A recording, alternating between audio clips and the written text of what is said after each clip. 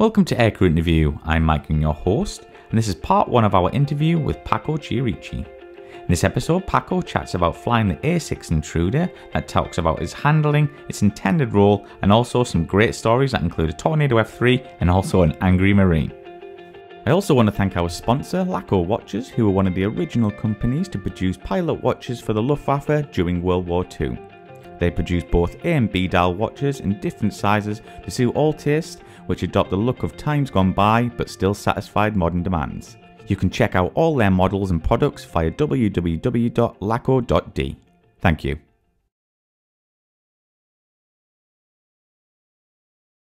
So, Paco, when did you first become interested in aviation?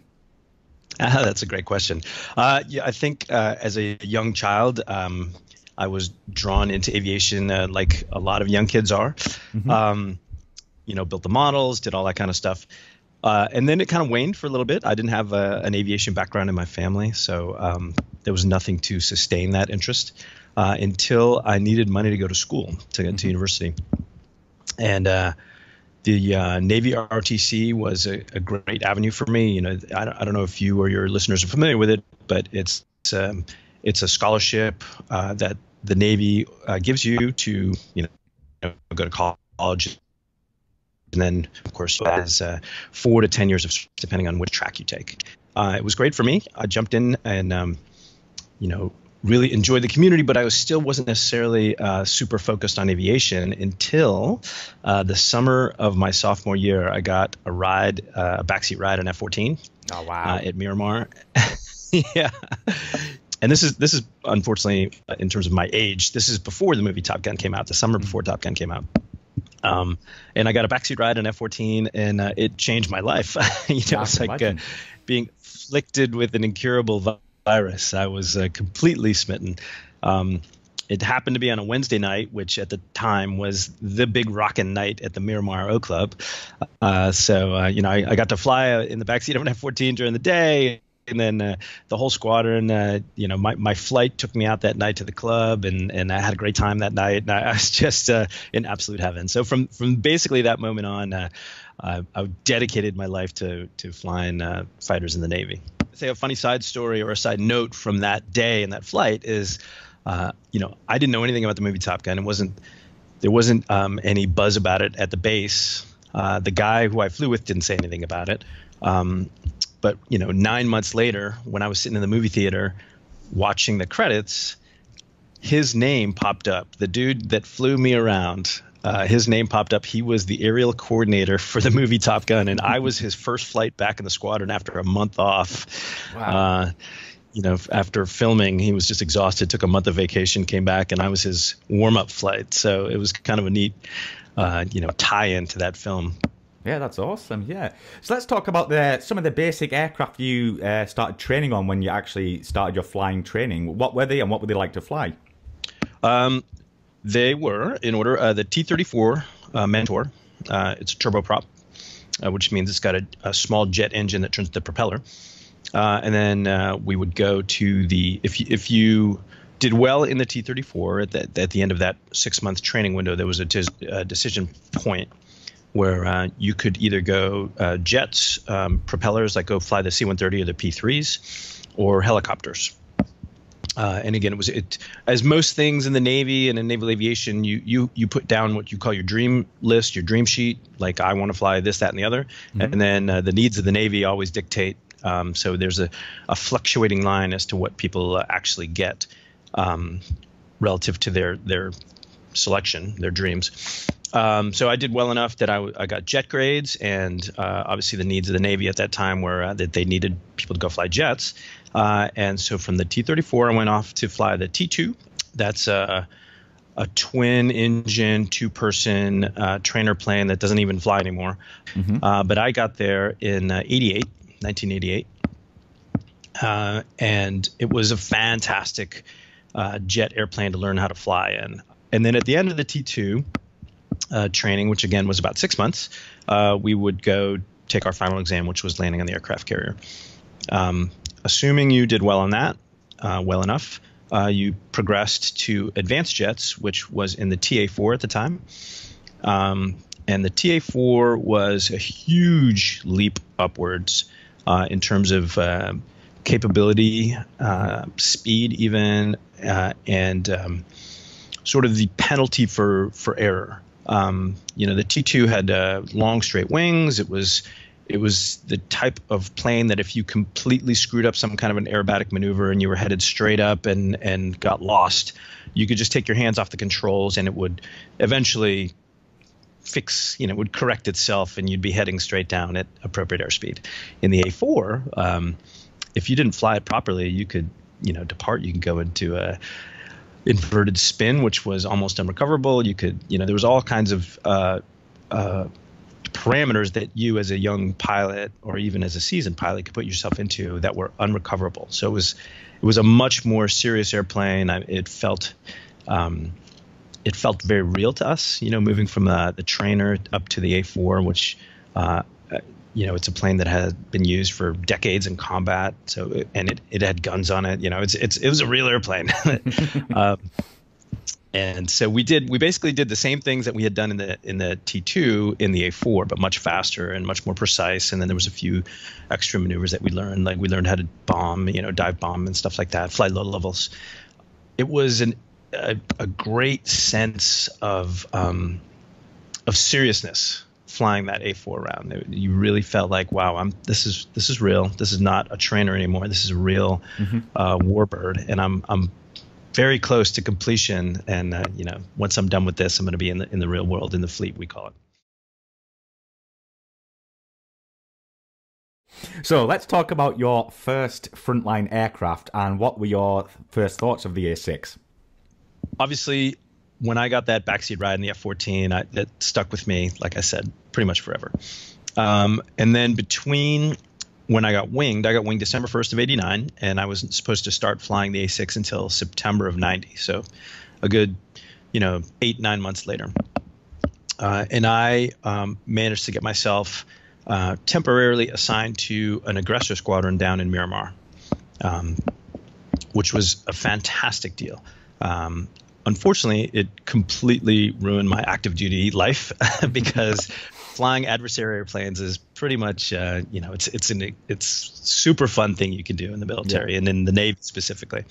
So I, I was flying with these guys uh, in the backseat of uh, A4s and and uh, sometimes in T2s, but mostly A4s, and um, they were all F-14 pilots. Uh, mm-hmm. and I had really wanted to fly the F-14. That was my number one mm-hmm. choice coming out of training. Um, I think you know, at the time we had Kingsville, Beeville, and Meridian. That were the three uh, jet training bases in the in the U.S. Navy, and um, you know, everybody that graduated in a certain week was lumped into one big pile, and then you know they would line them up with whatever was available. And, and the week I graduated, there was only two F-14s, and I was not in the top two, uh, so I didn't get uh, my first choice. Uh, I was assigned the A6, and you know I was a little I was a little bummed, but you know, like I said, you you get um, you get used to the idea that the needs of the Navy dictate, and you know it's still a great community. But anyway, I went and I started flying, uh, you know, air combat missions with these uh, adversary guys, and they're all F-14 pilots. And I spent six months with them, living in San Diego and flying in these incredible flights, and you know, going to the club with them and listening to them talk. And God, it just ate away at me. I didn't say anything, and one of them finally said, "You know." You might want to try to like see if you can change, get your orders changed. And um, it was it, it, was practically heresy to, to even conceive of something like that, especially for a new guy. But they they they got in my ear enough that I submitted a package and I tried to do it really subtly, you know, really quietly, so that I didn't irritate anybody. But um, they put me in an F-18 and took all these measurements and put me in an A6 and they're like, oh, maybe you may may or may not be tall, too tall to go fly the A6. I'm six foot 3 mm-hmm. um, so whatever that is in in terms of meters. But I'm six foot three, and um, there was some leeway, some wiggle room that I might have been able to uh, not go fly the A6 and go fly the Hornet instead, mm-hmm. uh, which wasn't my dream, but at least it was a fighter. Um, and it didn't work. It got turned down by some higher authority.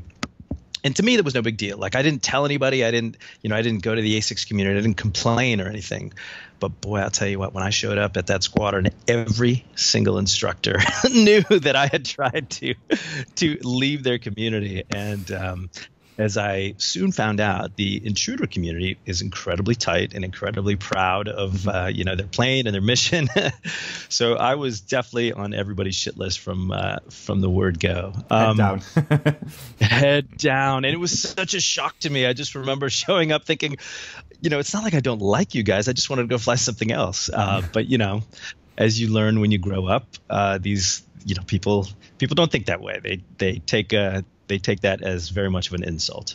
Mm-hmm. So uh, my first few months in in the intruder squadron were a little rough, but mm-hmm. you know I I love to fly, which is mm-hmm. good, uh, and uh, I soon learned to love to fly the intruder uh, and kind of everything about it. Um, you asked about my first impressions about the airplane, uh, and you know, compared to my dream planes, which are pointy nosed, fast, you know, high altitude air combat, uh, the A6 Intruder is uh, was just this hideously ugly beast. it's just a big, blunt nosed side by side. It had the uh, the aerial refueling probe um, didn't retract, you know, which was mind-boggling to me at the time. It's mm-hmm. just this thing that stuck out from, you know, the uh, the joint of the radar dome and the and the uh, windscreen, and uh, it just was right there, prominently displayed in front of the windscreen, getting in the way. Um, there was the added indignity of sitting side by side with somebody. You know, as a pilot, you uh, you uh, get used to, especially my last plane was the A4. You know, in the A4, you you feel like you're sitting on the tip of a needle. There's nothing around you, and you know, I climbed into the A6, and there's a seat right next to me, and it's you know when I'm if I'm making a left-hand turn and I'm trying to look out the right side of my cockpit, say on a rendezvous or you know flying formation, there's this guy that's in the way and all his gear that he throws up on the windscreen, and you know it's just uh, it was a huge adjustment. Yeah, so let's talk about what the intended role of the A6 was, and can you talk us through your ground training as well? Sure. Um, well, the intended role, uh, you know, the A6 had a long distinguished career. The intended role of it was really to uh, be effective in Vietnam, right? So uh, to be able to come in at low altitude at night um, in the weather and be able to deliver a massive amount of ordnance. So it could carry 28 500 pound bombs without any modifications.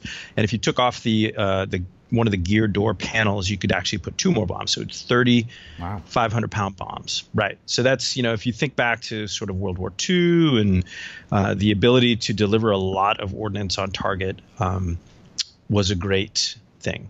And then you added that radar uh, and so that the the navigator could take you to the target at night uh, or in bad weather and still be able to incredibly accurately deliver uh, the you know these 30 or 28 500 pound bombs on target whether it was a factory or roads or you know a bridge or something like that um, that's what the A6 was really designed to do. Mm-hmm.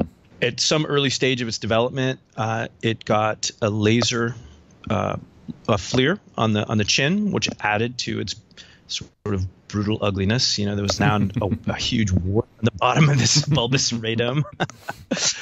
um, but it was a it was an, um, a huge upgrade in the capability of the airplane because um, we we meaning the world started to progress from just sort of a, a brute dropping of massive amounts of bombs to precision strike um, and the laser guided bomb was developed uh, in, the latter stages of Vietnam. And now the A6 was able to, you know, again, fly night, low level, but one target, it could use this laser and forward looking infrared to transition from the radar that the navigator was using to incredibly precise laser targeting and putting this one bomb on this one spot um, very precisely. So once it was able to do that, I think for a long time it was the only airplane, certainly in the in the U.S. inventory, it was the only airplane that could do that. Massive upgrade in capability. So it went from a medium attack bomber to you know a precision uh, a precision striker. Um, and then by the time I got to it, it was in the very latter stages of its life, uh, and it had a, yet another upgrade, and it was now there was some digital components thrown into it, so we were able to fire off the HARM missile, uh, which is the high-speed anti-radiation missile, anti-radar basically, um, and then uh, there was a, you know a- anything anything that you could fire air to ground uh, pre-GPS ordnance, the A6 could could fire. Harpoon missiles, which are anti-ship missiles, um, Maverick whether it was the laser or the TV guided Mavericks, uh, and that was a rocket, um, a, a, big warhead rocket. Um, obviously, the laser and the dumb bombs, as we call them, the non guided bombs. So it was an incredibly capable airplane. Um, still obviously able to fly day and night, low altitude through any weather, and deliver that. Uh, I got to the plane at the end of the Cold War, uh, so I didn't have to go through the nuclear certification process, which was a like a multi-month onerous training cycle that uh, new crews would have to go through before they became what was called nuke certified to fly uh, to to plan for and fly and execute a mission with the, the nuclear bombs. But I didn't have to do that. I, I literally missed it by maybe a month. Yeah, lucky then. yeah, it was very lucky. It was it was good for me. With your ground training, was there a, a, a simulator at the time? I'm guessing it was nothing like you, these modern day simulators we have, um, you know, in the Air Force today or the Navy. We let's see, we had a 360 degree dome simulator, which w- which had very uh, sophisticated uh, graphics, but it didn't move. Um, and so it was it. Uh, I didn't like it at all. I mean, it was it was a remarkable piece of technology. It was great training. Um, you know, to be able to to uh, prep yourself to go fly low level missions. Um, and it was great training for you know practicing on an overseas strike. So you could fly a mission overseas without actually being overseas, which is remarkable. Um, but the fact that the cockpit or the, the, the, actual simulator itself didn't move, but just the graphics moved would really mess with my head. I would get a migraine coming out of that thing. So um, I didn't like it that much. So to become a night level certified intruder pilot, you had to do three flights. Um, all within one week. The first flight was, and they were all on the same low level route. Uh, the first flight was in the simulator, and, and it, it, had to be with the same crew as well. I'm sorry. So okay. you and your navigator together would have to fly th- the the same low level three times. Once in the simulator, once uh, during the day, and then usually that very night you would fly the same low level at night. Um, and what it did really was, it, it, and I'll get to this a little bit later, but the A6 was very, very much designed around uh, the radar and the, and the capabilities that the navigator was able to bring to the airplane. Mm-hmm. Um, the Bombardier Navigator, the BN. Um, and what it did was it really gave the BN a great sense of comfort uh, for uh, being able to navigate through all of his radar waypoints. Um, you know, through the simulator, which again not, wasn't just a visual simulator. You know, it had all the data for the radar uh, that the navigator was going to use. So it was super sophisticated, I, I think, in that sense. Mm-hmm. Yeah, I, I, got to, and we call it uh, the RAG. It stands for Replacement Air Group here in in the states, and uh, I got to the A6 RAG in September of '93, and I was combat ready, as you say, or I finished the RAG in um, July of '94, so not quite a year that's an interesting time uh, because that exactly straddles. I got there right as uh, Saddam invaded Kuwait, and uh, you know, in the middle of my training, uh, the the uh, the first Gulf War began. Um, so yeah, I, I, I, straddled basically my entire training uh, in that plane, straddled the the course of that conflict, um, which was very interesting. I have to say, you know, we but when I got into the Navy, there was no sense of a great war. There, you know, Vietnam had been over for a long time, um, and uh, there, there, was nothing on the horizon until all of a sudden in August of '90, you know, that the world changed dramatically uh, overnight, and um, you know, we at the at the time the Iraqi Air Force was, I think, the fifth largest in the world, yeah. and Baghdad was the uh, second or third most heavily defended uh, city in the world in terms of surface to air missiles and AAA and and you know the integrated air defense system. Um, and so the intruder figured heavily into the war plan, and the war plan itself uh, was expected to take a minimum of a year, maybe two years. You know, people have, we're still thinking back to the days of Vietnam where things took many, many years and months to uh, to execute. And um, probably one of the most interesting times in my Navy career, and in specifically in that training, was uh, right before we got a, a, a few days off to go visit our family for Christmas, and they called all of us in there. And I don't know if you remember, but the, the war, you know, the, the president President Bush at the time had given Saddam a, a deadline of January 16th, um, which was rapidly approaching. Was about a month, less than a month away. Mm-hmm. And so we, before Christmas, we all, all the students were brought into an auditorium, and one of our instructors got up and said, "Hey, listen, this is real. This is going to happen. You know, three weeks from now, undoubtedly, we're going to war, and it's a big war. It's gonna. It's not like we're not bombing Saddam, or we're not we're not bombing the Libyans, or you know, this isn't a one day strike. This is going to be a, a multi year effort. And when you guys come back, the term replacement air group, the replacement part means that you are replacing somebody who's going to be dead. Wow. So write your wills, say goodbye to your parents. You're going to war when you come back. Mm. Um, and that was incredibly sobering. I mean, you could have heard a pin drop, and there was you know a couple hundred of us in that auditorium. Um, and I'll never forget that. I mean, I went home and talked to my parents and said, you know, this is this is like I'm likely going to war here in in the next three to four months, uh, and the plane I'm flying is not well suited to this environment. Mm-hmm. Um, so I love you guys. that must have been very difficult to have that conversation. It was one of the more difficult ones I think I've ever had, um, and I'm sure it was uh, difficult for my parents to, you know, to listen to.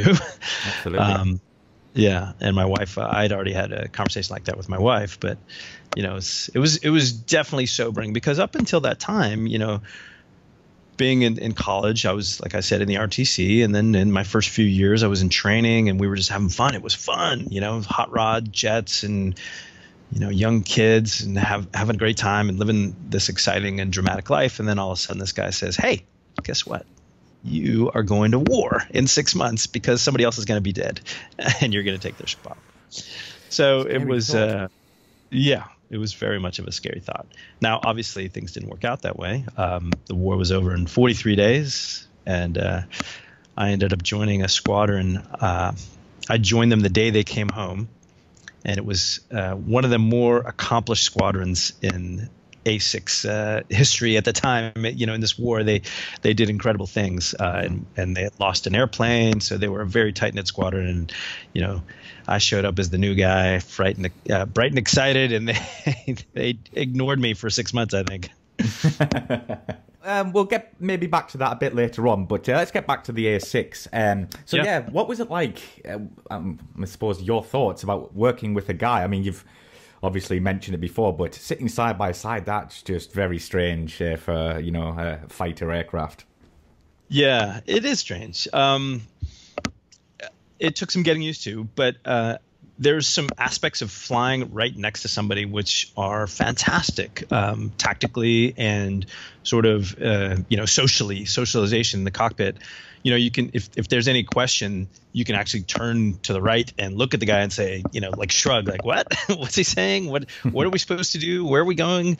You know and uh, so the, the the crew integration the crew coordination in the a6 was better than any other plane I had or or will fly. It was really fantastic, and um, not having I, I had never had to deal with uh, navigators with non you know non pilots before. I'd gone through a year and a half of training, and it was all pilots and pilots instructors, and so we, you know, developed this sense that we were the people that were important in aviation, and then you get to this community that's really built around the radar and the, the forward looking infrared and and you learn uh, pretty quickly that in the A6 community, you know, your job was to get the BN where you needed to go. You know, you're you were a glorified chauffeur, um, which was cool. You know, it was really neat. It was I I uh, I still got to fly. You know, flying low levels was um, intense and fun and really uh, really uh, pleasurable and enjoyable. Um, and that was my job, right? I was I was in charge of flying through that ravine at you know 150 feet and you know 500 knots. That was that was my job. It wasn't his job. It was cool. Um, but you know he was his job was to uh, to get us to the target at night while we were flying through these canyons. And unlike say the F-111, which was the Air Force's equivalent to the A6, mm-hmm. we hand flew everything. There was wow. no terrain following radar. I didn't let I didn't let go of the controls and, and have the you know have George take over. We hand flew everything, uh, and the amount of trust you needed to place in the uh, in the BN who was sitting right next to you, you know. You, at night they would fly with this shroud over the radar uh, so that you know the, the, ambient light of the radar didn't ruin the pilot's night vision mm-hmm. and and it kind of looked like he was sticking his head into a cat's butt which was of course what, what us pilots would tease them. But you know, he'd stick his head into this thing, and but his hands were on the outside, and he'd manipulate all the radar controls, and and it was.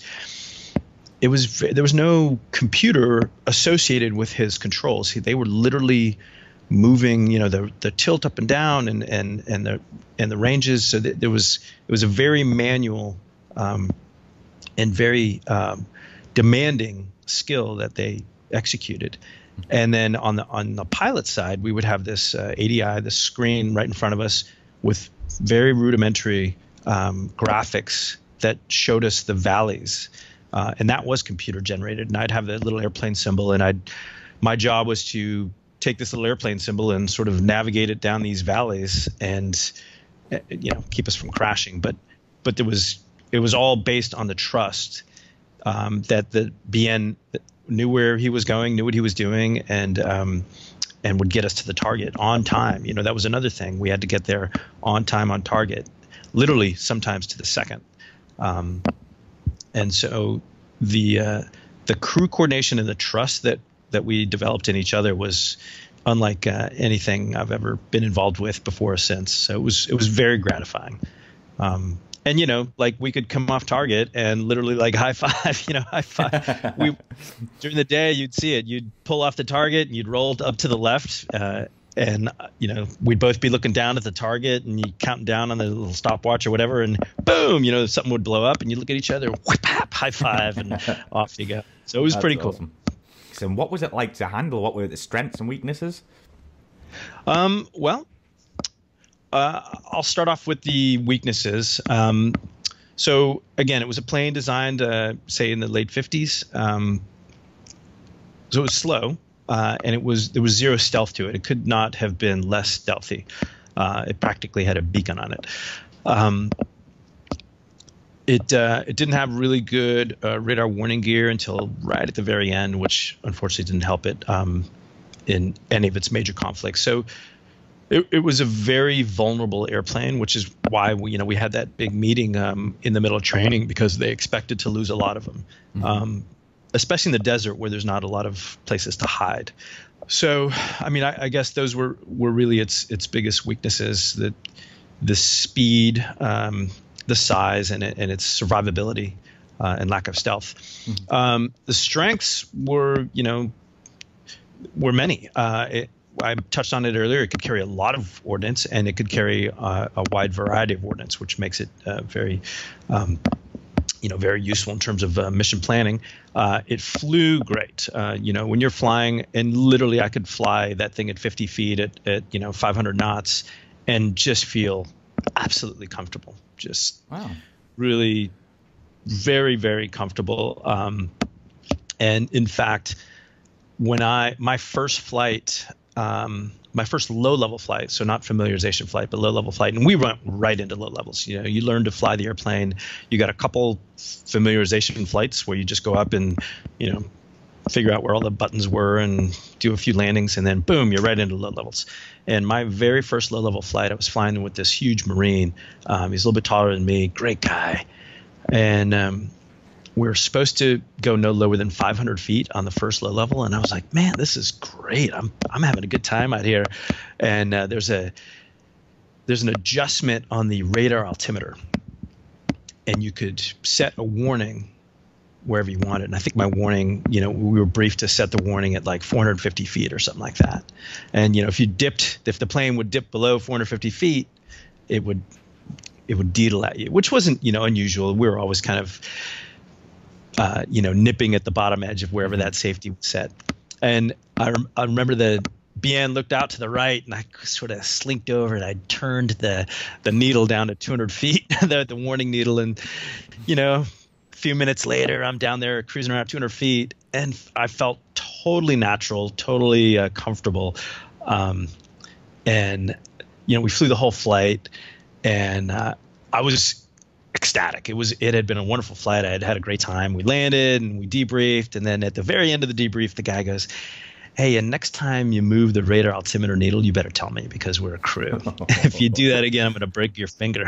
so, it was great. I mean, it was uh, you know it was it was good that you know he he set the record straight and it was it was actually fun for me that I had done that and kind of gotten uh, or thought I got away with it and you know had been put in my place. But it was all fingers it was cool that he. yeah, exactly. I've got all ten fingers. so, can you tell us uh, how you started training to land and take off on the carrier, and how it differed from the A4, for instance? Yes, um, it was actually easier to land on the carrier than the A4, and uh, for me, um, you know, and different people have different sensibilities, but for me, it was significantly easier. Uh, it was an instantaneous response on the throttle, mm-hmm. uh, and there was a, there was a number of factors um, sort of wrapped around the intruder itself that made um, landing on the ship uh, pretty easy. So it had uh, a decent wing sweep, about a, I think it was 45 degree wing sweep. Uh, it was a very draggy airplane. I touched on that earlier. So, you know, it, it, it, needed thrust. It didn't glide at all. It needed engine power to to make it go forward. Um, and then there was that instantaneous throttle response. Um, so when you're on the ball, and um, again, the, optical landing system uh, that we use to land on the ship, um, we term the meatball or the ball for short. When you're on the ball, uh, you know, if you could, if you see the ball getting a little bit high, crowning high, and you pull the power a little bit, the the response rate from the airplane was instantaneous and it and it didn't change the angle of attack at all. You didn't have to touch the stick really. You just kind of pull the throttle back and the plane would come down a little bit and you'd put it back on and it, it was really super comfortable. Um, even though it didn't have ailerons, it had uh, these spoilers. It would still kind of roll pretty honestly. You just had to be aware that you know, if you put a little bit of right aileron in, it didn't roll around the center line of the airplane. It would drop the wing. So you, you had to add a little bit of power to compensate for that. But once, you know, after you do these things a few times, uh, they become second nature to you, like chewing and walking gum. You know, you don't have to think about either one of those; they just happen. Um, and so what we would do, and it's the same format that we do uh, in the training command before you go out to the aircraft carrier. You would literally spend a month landing on the sh- on on the um, a ship simulator runway um, uh, on land, um, and you know we just go through the pattern uh, during the day a few times, and then at night, uh, even even though we were flying the day pattern, we would fly it at night. And what that did was it forced you to really get very precise about staying on your interior instruments until you're actually rolled out right behind the uh, ship at say three quarters to almost half a mile uh, before transitioning outside. So, and that was that's a skill that uh, Navy pilots have to develop so that they don't get vertigo, so that they don't get lost in that the glide path, um, you know, too far out.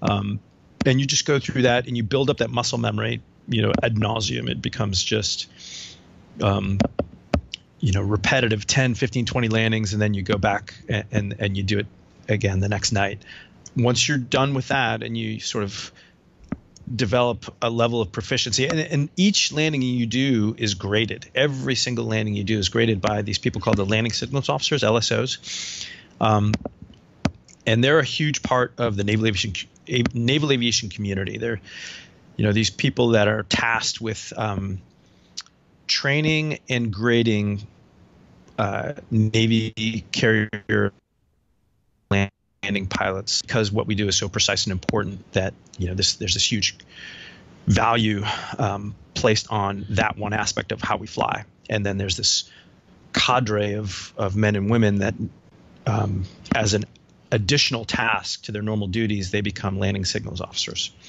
Um, so while you're uh, a student, each and every one of your landings uh, is graded, and then after every flight, they drive back to the base and they debrief you and they say, you know, you were a little high here, you're a little low there, and and what they try to do is they try to uh, decipher trends out of the way you're flying.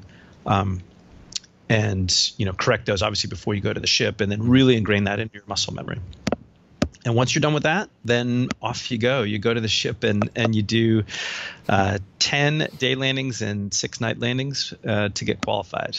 And you have to achieve a certain grade point average and sort of a, a general safety uh, parameter. So let's talk about your first squadron with the A6, and also, did you ever get to practice dropping live um, weapons or bombs? Oh yeah, yeah, we did that quite a bit. Um, I mean, that's that's what the A6 did. We flew low levels and we dropped bombs, and we did that a lot. Um, we mostly dropped inert bombs. Uh, you know, it's it's almost comical to look at them. They're they're called Mark 76s. They're these little 26 pound blue bombs that you know look silly strapped onto a big warplane. But everybody, you know, everybody in NATO basically, I think, drops Mark 76s. Um, and then uh, sometimes you drop uh, bombs that look live, but they're actually inert, and they have a different paint scheme on them. Um, but they have they they in terms of the weight and the drag and the way that the plane handles, um, they simulate live weapons. And but when they hit, um, you know, they don't explode. Obviously, they're just made of cement. But yes, so uh, uh, frequently um, we dropped live bombs, um, and it was always a big deal, you know, because they're live bombs. Um, uh, we did it in training in uh, VA 128, which was my uh, A6 training squadron. Uh, and then once we got to the fleet, we did it uh, much more frequently um, when we would go do workups. So b- before a squadron goes on deployment uh, with the carrier air wing, um, it's involved in what's called workups, which are a series of deployments to uh, either Navy Fallon or or some other places uh, where the Air Wing uh, gets to work together um, as a team uh, and start uh, building up their proficiency at um, coordinated strikes and stuff like that. And um, you know, you you act. You know, the the the phrase we use is you know fight the way you train train the way you fight so to the highest degree possible we would you know once we start getting to these higher level missions is we would fly them exactly the way we would if we were going into combat. You know, we would that we would have air support from the fighters, we would have live weapons, we would have adversary airplanes uh, trying to tap us before and after we were on an off target. Um, so it felt very, very, very much like you were going into combat uh, with you know sort of the realization in the back of your mind that nobody was really going to shoot at you. But but still, the, the seriousness that was put on it was basically the same level. Mm-hmm. I was lucky. I got to shoot harpoon missiles. Uh, I got to shoot Maverick. I got to shoot rockets, which is a really cool weapon to fire. So yeah, I, I did a lot of uh, a lot of live ordnance. That sounds cool. Yeah.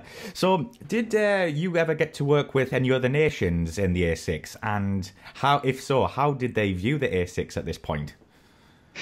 I so I did, but I never. Um, it was you know, it was on deployment. So I never came face to face with them. But we had we had the most amazing mission um, in Iraq. And again, my first deployment, I think I was 24 years old, so I'm still very, very young in the in the real world. But in the military, all you know, at 24, when you're in a fleet uh, squadron, you're starting to get fairly seasoned. Um, you're doing a lot of work. So you know, I felt pretty competent. Um, but we had this one um, training flight off the carrier off the coast of Kuwait where um, there was going to be myself and one other A6, and I was leading the A6s. Uh, we're going to be escorted by two Kuwaiti Hornets, and then the opposition. Well, I'm sorry, and then we're all leaving from the same spot off the coast of Kuwait. Um, and then there was going to be two Kuwaiti A4s, and the Kuwaitis had some really, really cool A4s. Uh, we're going to be going in the opposite direction. So Kuwait, for those of you who don't know, is very, very small nation. Um, it's it's essentially a city-state, kind of like you know the Vatican or Monaco or something like that. So it's it's it's a country, but it's also just really a city. Uh, so we were going to be flying um, counterclockwise, you know, up the coast north, and then cutting inland and attacking this uh, airfield on the northwest side of Kuwait on the border with Iraq. And then these Kuwaiti A4s were going to be doing the same thing, but going south first and then cutting across the Kuwaiti Saudi Arabia border and then cutting north to get to the very same airfield, but from the opposite direction. And then we were going to be escorted by Hornets, uh, Kuwaiti Hornets, and then the opposition was going to be British Tornados. Ah. Um, but the air-to-air variant, I can't remember exactly what that was called. The F3, yeah. GR, GR1, right? Or GR3? GR1's the bomber, F3's the interceptor. Of F3. Okay, cool. So yeah, that was going to be the opposition, and we were flying. We were we were doing the A6 mission, man. We are flying, you know, as low as we could stand it, uh, and it was a beautiful sunny day in Kuwait, which it is 390 days a year. Um, and I never saw any of these people. All the briefing was done via messaging, and you know, it, so the coordination was very suspect. But sure enough, we get to the rendezvous point at the right time, and you know, we pull up our frequencies, and there they are. These two uh, out out of nowhere, magically, these two Kuwaiti Hornets appear on either either side of my formation, one on each side, and I see the Kuwaiti A4s, and you know, everything seems to be going perfectly. Um, and so off we go. We go down to about 200 feet uh, up the coastline, and the the uh, Kuwaiti Hornets are uh, maybe at a thousand feet, uh, which makes you know now that I have flown fighters, it makes their, their that tactic makes absolutely no sense. But anyway, they were they were relatively close to us um, as a fighter escort, and you know, we're flying our mission and you know, we, we have a common frequency and we start hearing other people starting, uh, beginning to get engaged and, you know, the, the adrenaline levels up and the excitement levels up and we're looking around and all of a sudden in the distance, I see a tornado like uh, coming out of the sky at seven, 8,000 feet and uh, our two Hornets, off they go. They go off and engage and uh, we lose them. So now we're uh, naked and unafraid. We had to turn to a, to defend ourselves a little bit. So uh, we're a little bit off on timeline and frankly, we're not really paying attention to it at all anyway. We're just going as fast as we can. And um, before we get to the target, um, we get jumped by another section of uh, tornadoes, and uh, but they they just turned with us briefly for a couple, you know, maybe 180 degrees of turn, and then we we disengage from them, and uh, you know, there's chatter on the radio from all different aspects. You know, you can hear uh, British accents, you can hear American accents, you can hear Kuwaiti accents. Everybody's obviously speaking English, but with these wide variety of accents and, and uh, a huge range of whether or not you can actually understand what people are saying because. Uh, you know, even though we're speaking English, the Brits don't sound necessarily or say the same thing we say when we, you know, mm-hmm. when under stress. Mm-hmm. Uh, and certainly the Kuwaitis were speaking a second language. So we ha- we basically have no idea what's going on. And um, we're coming into the target, and w- the the plan was to do a pop, which means you're you come in as low and as fast as you possibly can, and about six miles away from the target, you pop up to about 1,800 feet, roll over, acquire the target in a dive, and then um, drop your ordnance, and and then off you go. You're off target. So. I pull up and I'm in the pop, and as I look up in the pop, I see maybe four or five thousand feet above me. There's a, a tornado uh, and he doesn't see me yet, but I know, you know, I know he's there, and I'm gonna have to deal with him in a second. Uh, and I roll over inverted, and I pull back down. I see the target, which is very obvious. It's a hangar with a hole in it from from the war. Uh, it had been blown up, and I'm rolling down, and as I'm in the dive at maybe 1,500 feet, 1,000 feet, this A4 goes in the opposite direction, right under my nose. Coming, you know, it was one of the A4s that had been going uh, on the other side of the route, and he was well behind his timeline. Um, so he he never saw me. He just flew right underneath me on the same target. I'm like, holy crap! And uh, he's gone. I drop, you know, my simulated ordinance. I come off target, and this tornado is now turning on me. So I'm in a dogfight, uh, you know, with this tornado at maybe a thousand feet, pulling for for everything I'm worth. Um, and uh, a hornet, one of the uh, Kuwaiti Hornets comes and rescues me because I was certainly no dogfighter in the A6. Uh, rescues me and jumps the uh, the tornado. My wingman and I managed to disengage from the fight, and we're exiting to the northeast, which is out uh, towards the water, as literally at 50 feet as fast as we could possibly go. My heart's pounding and it's in my throat. And we're in perfect combat spread. Everything's just incredible. And we're flying out over the water over Kuwait City. And there's these these uh, traditional fishing boats they have. They're just beautiful fishing boats, and we're flying at mass level, just right over their head, screaming out over the water. It was just one of the more intense and amazing days I ever had. What a fantastic But yeah, story. Yeah, it was so fun.